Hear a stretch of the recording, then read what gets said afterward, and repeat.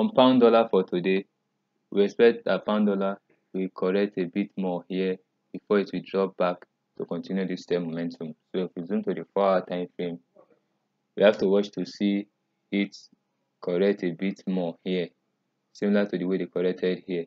Correct here which will make both these two a running flat for more drops down. Although we are also aware that if we zoom to the one hour time frame to see what is happening there we see that this present corrective move here can drop once more and then climb back up to complete this flat here before they will resume the same momentum for us. And as we see that there's divergence on this MACD between the bottoms on the MACD and the bottoms on the chart it means that once they give us this drop down they will start a bigger sideways correction here for more drop down. So watch out for that to develop today on pound dollar